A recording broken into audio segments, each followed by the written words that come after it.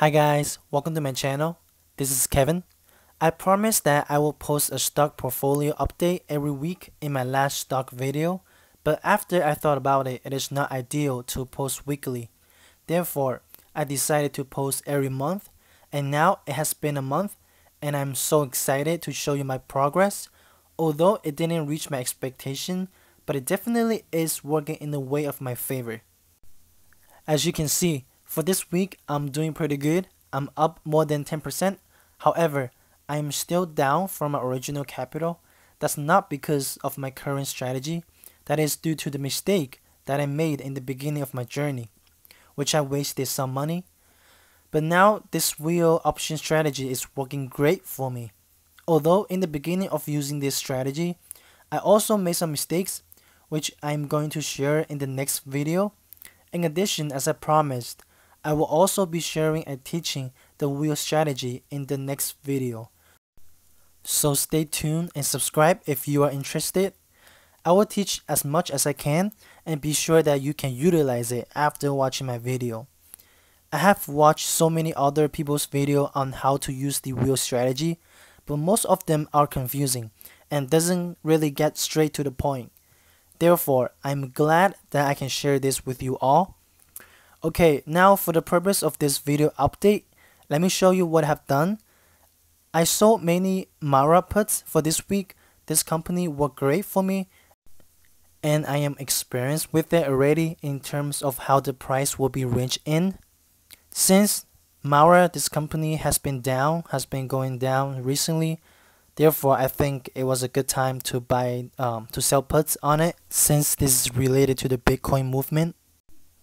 I also sold some Skillz Put SKLZ, which is a gaming company that I thought would do well based on its fundamental.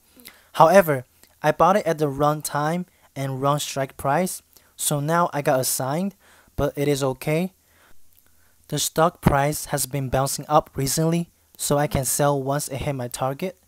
Besides Skillz and Mara, I also sold Blink Charging, BLNK, um, CAN, C-A-N, and Palantir, P-L-T-R, puts and calls. Some of them work in my favor, others were assigned.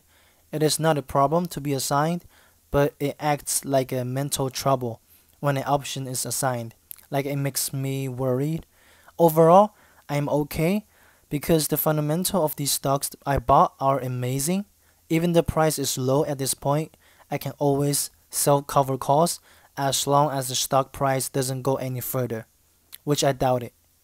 From the two month experience phase, I have learned a lot and made a lot of mistakes, fortunately, and I will make a video on the mistakes to avoid for option trading in the future. So for this month, I made around 2,589 and 31 cents using the wheel strategy. It is not a lot in my opinion, considering how much capital I have put in I couldn't have make much more, but I wanted to be calm and safe. I didn't want to risk my money for a little extra premium from selling puts. My goal is clear in using this wheel option strategy that it is just a form of passive income or a cash flow. I don't expect or want it to become rich overnight doing option. It is not practical. It is definitely doable, but considering the risk is much greater than what I can lose. I just wanted to have stable passive income every week and month. If you're also this type of investor or trader, make sure you give me a like and subscribe for more contents related to stocks. That will be everything for this video. Have an awesome day guys.